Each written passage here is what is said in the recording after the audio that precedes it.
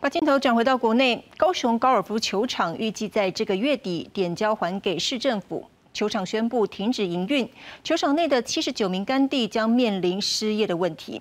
今天包括干地，还有球场工作人员、俱乐部会员，总共一百五十人是前往高雄市政府陈情，呼吁市政府让球场继续经营，保障劳工权益。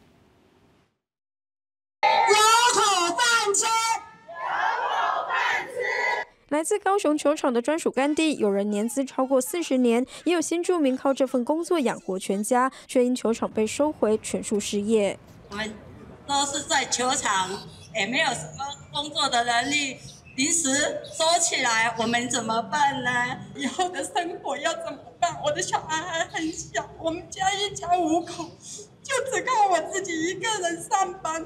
七十九人组成自救会，喊话市府让球场继续经营，别让他们年前失业。二十六号上午，劳工局长出面接陈情书，表示会协助甘地转职。工作权的部分，阮嘛愿意来看合调，其他的球场有什么需要，者啊，我会努力。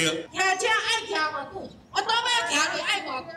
三点半，我一个查某人，骑三点，我讲哪去？我们一定这就会反映原球场平常早班就要凌晨三点半到，如果再到更远的球场，交通、女性深夜上班的安全都让他们担心。啊，公共利益呃，公共安全的立场，那以及啊，来啊啊保护啊相关劳工的这个劳动权利这个部分。